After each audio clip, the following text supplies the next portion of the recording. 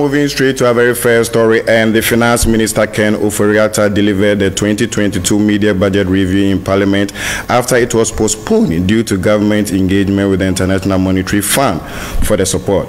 Making an official remark about the decision to engage the fund, Ofori-Atta provided information on how revenue and expenditure had performed in the first half of this year.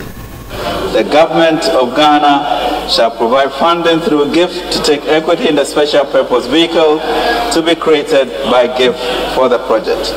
Mr. Speaker, PPP projects must be self-financing and they will be tolled.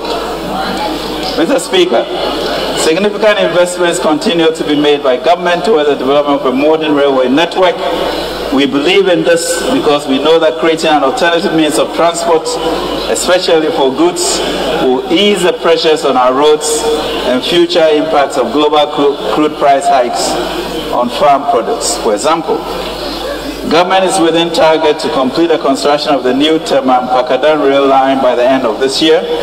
The project is currently about 92% complete the operationalization of the project is expected to enhance efficiency at the Tema port and provide the shortest possible transportation route between the southern and northern parts of Ghana.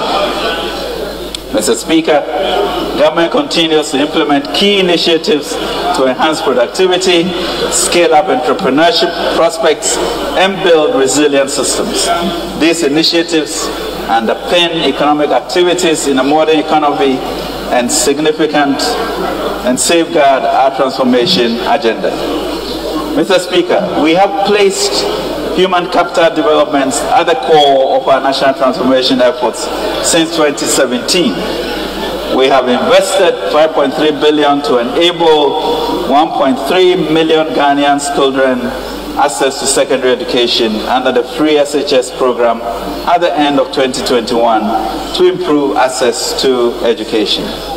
Out of the 571,892 registered JHS students, 555,353, representing 97.1% were placed into senior high schools this year. This is significant.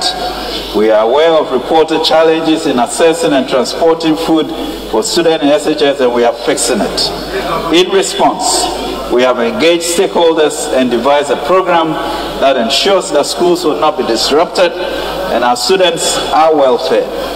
Government has also recently completed 17 additional projects, including classroom blocks, dormitories, staff bungalows, and libraries as part of infrastructure expansion in senior high schools to deal with the record increases in student numbers. Mr. Speaker, we shall not compromise on President Akufo-Addo's commitment to giving all our children the opportunity to be educated from kindergarten to university without the ability to pay being a hindrance.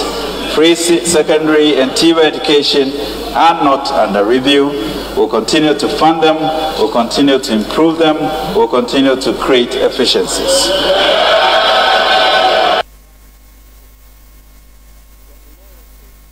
Still staying with the media.